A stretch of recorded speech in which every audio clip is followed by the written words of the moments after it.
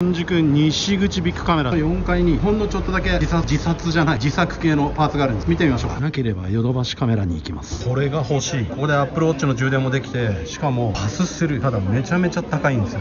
いました。自作パーツコーナー。ありましたね。ここら辺でいいんですよ。ただ1000円以下で買いたいんです。できれば USB-CC で行きたい。来ました。みんな大好きセンチュリー。777円。どうだ？USB2 か。うん。これはちょっと高くて1045円ですけど Mac で使えるって明記してありますいいかも。でこれで1300円こんな感じで取り付けるんです。ただできればね補助電源がついてるものの方が間違いないでしょうね。あるかな？補助電源付き。これこれも970円あこれ USB3 だ。おどうだ？これはどうだ？これこれ補助電源ついてますね。あこれならいいんじゃないですか？いくら？972円。おこれはいいな。ここれいいな。これ第一候補。これだ。これですね。952円なら全然いいでしょいいでしょあいや待てよ。補助電源はあるんだ。デスクトップ用の電源を買ってるんで補助電源別になくてもどうにでもなるな。でもただこれが最安ですからね。800円ぐらいのってあります？あそこにあるにはありますね。50円しか変わらないからまあこれでいいのかな。まあこれでやってみましょうか。最悪だ。めちゃくちゃ降ってるなこれ。入れない。あっという間にやみました。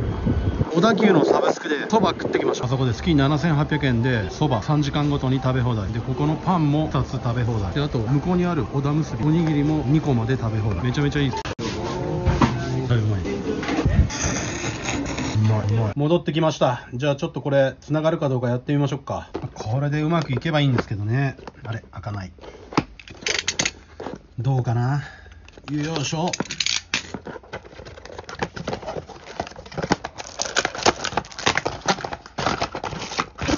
よし。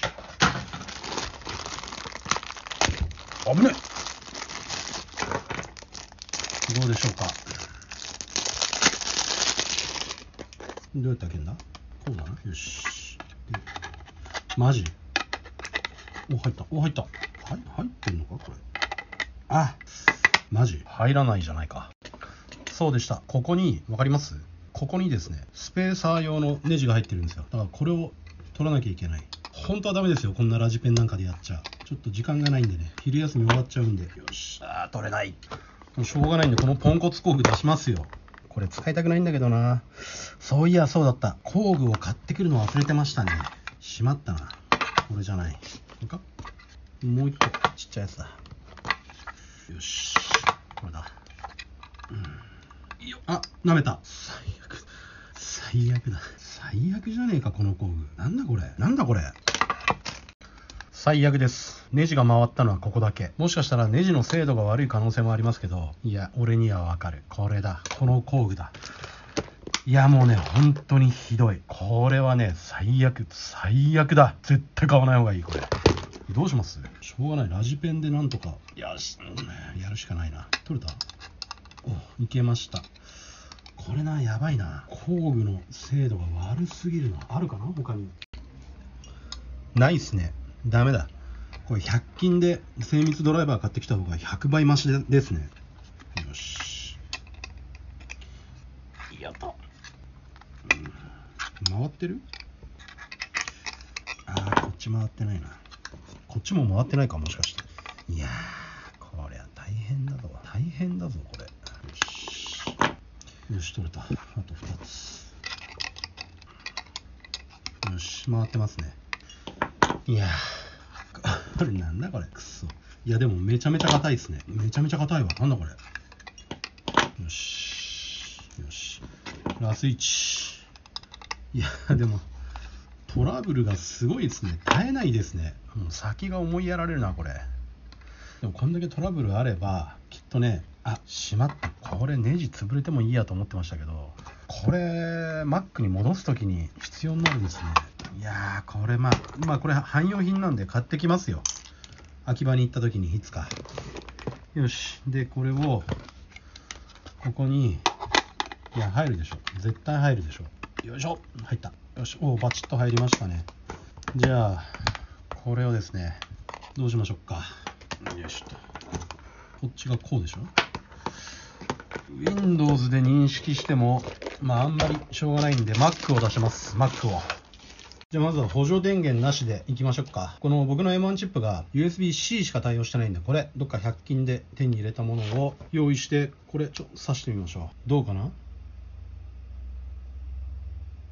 来た。お来た。来た。来た。やった。やった。見えますか？ここにビルトインって書いてあるやつが外付けのハードディスクです。でこれねアクセスしようとすると当然あれ？え？いけるの？ちょっと待って待て待て。これね皆さん結論から先に言っとくとパスワードブルートフォースやらなくていい。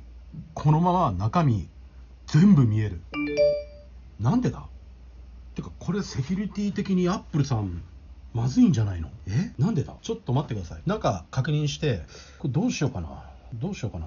どういきます？まさかこうなるとは思わなかったな。さあさあ昔の Mac のセキュリティはどうだっていう話は置いといて入れました。見れました。でですね夢中でいろいろ見てたんですけど分かりましたよ。大体分かりました。これちょっと画面動かせないんですけどっていうのもユーザーネームが僕の本名になっちゃってたんですよね。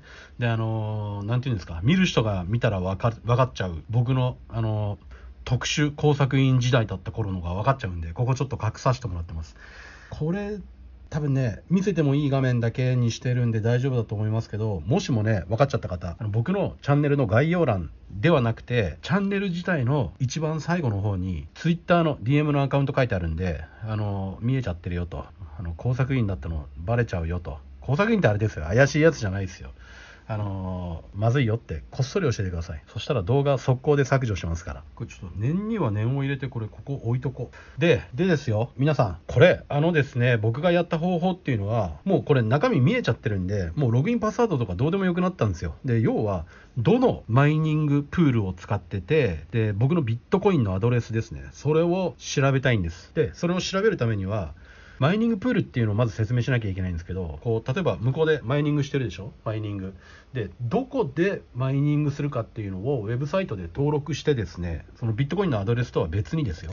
別に持っておいてここのプールでだから言ってみれば労働組合みたいなのを組むんですよ。今1人でソロマイニングっていうのもあるんですけどソロマイニングだともうね全然掘れないんです。だからもう労働組合を作って例えば10人なり100人なりで一緒に掘ろうと。でその中の仲間のうちの誰かが掘り当てたらそれをみんなで山分けしようっていうその山分けの労働組合に入るんです。でどの労働組合に入ってたのかっていうのも調べたい。で、それを調べるにはですね、ここ、サファリって書いてあるでしょ？サファリ。すいませんね。あの、ズームにできないんですよ。ズームにできないって言ってもなんかね、見えそうですけどね。まあいいや。で、で、そのサファリのブックマークとか、これ見えますよね。ブックマークだったり、ヒストリーだったり、あとデータベースっていう中に、それまでの履歴みたいな、まあヒストリーと大体同じなんですけど、全部あるんで、これを見ていけばですね、まあ、どこのウェブサイト、労働組合に入ってたかっていうのがすぐわかるんです。で、これちょっと見たらですね、僕はもうこの履歴はお見せできないです。なんかもういろんな意味で、いろんな意味で、いい意味でも悪い意味でもお見せできないんです。なんでね、ここら辺解析、解析というか、その解説できたら、すごい面白いんですけどね。なんで今日のところはですね、こんな感じです。で、これは意外なことになってきたな、どんどん面白いな。で、今回の教訓はですね、古い Mac でパスワードをかけていて、ログインパスワード分からなくても、外ぶっ込んで、この外付けのハードディスク、最新の Mac で読み込むと、パスワード関係なく見えちゃうよって話ですよ。なんでなんだろうな。なんでなんだろう。まあ、大体わかりますけどね。理由はね。多分ね、僕が昔の Mac でかけたセキュリティがまだ甘かったんじゃないかな。暗号化までしなきゃいけなかったんじゃないかな。暗号化してなかったのかな。どうなのかな。よく分かりません。そこら辺はまあ時間があったらやろうと思いますけど、多分やらないかな。やらないですかね。まあそんな感じですよ。なので皆さん、これ、あのー、もうちょっと見てですね、どこのマイニングプール、労働組合に入ってたかっていうのが分かれば、その労働組合の中にまだ僕のビットコインが残ってるはず。で、その労働組合の中を見れば、僕がビットコイン、例えばどっかに送金、あのビットコインのアドレスを作って、そこに送金したよっていうのが分かればですね、もうそれで OK ですよ。そしたらそこのところにまたログインしていくんです。で、今度そのログインアカウント分からなかったらどうするんだって言うんですけど、あそういう恐れがあるんですけど、そこはですね、そんなに心配してないんですよ。で、それなぜかというと、労働組合というウェブサイトじゃないですか。で、ウェブサイトには、僕が登録したメールアドレスがどれかがあるはずなんですよ。で、昔使ってたメールアドレスもここ調べていくと分かるんですね。ちょっとお見せできないんですけど、それは。で、そのメールアドレスのアカウントから ID、ID とパスワード忘れちゃいましたって、その労働組合に問い合わせをかければ、新しい ID とパスワードくれますからね。まあ ID じゃなくてパスワードですね。パスワードリセットしてくれますから、来ましたよ。これ400万どうします？どうします？これねあんまりでかい声で400万400万言ってるとやばいちょっと怖いからもう今日のところはこんな感じで。いや楽しくなってきた。楽しくなってきましたよ。続きます。というわけで今回はこんな感じです。